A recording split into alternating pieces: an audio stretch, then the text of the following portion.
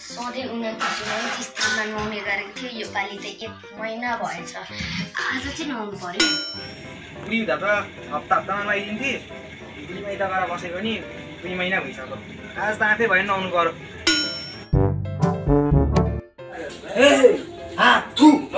मेरो त्यसलाई छुँदैन छु बाउले त पढे पो हाने? त म पनि ब्याडल फर्काउनु पर्यो। ए बाउ तिमी धेरै नकराउ। त्यो कट्टु मेरो हो तिम्रै भयो भने के भयो त मैले लाउँदा म तिम्रो छोरो? तँ चाहिँ ब्याटल फर्काउँदै गर म चाहिँ बाउ बुढाले कट्टु लगिहाल्यो नि। होस् अबको उन्तिस दिनमा चाहिँ पक्कै नुहाउनु पर्यो।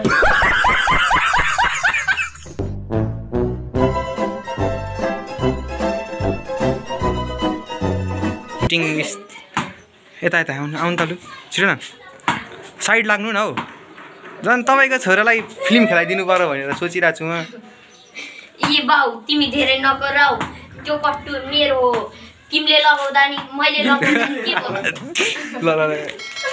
मैले लगाउँदा पनि के भयो त? जे भयो नि म तिम्रो छोरो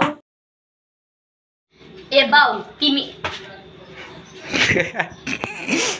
तिमी भनेको होइन अनि अनि त्यो कट्टु याद आयो क्या मलाई?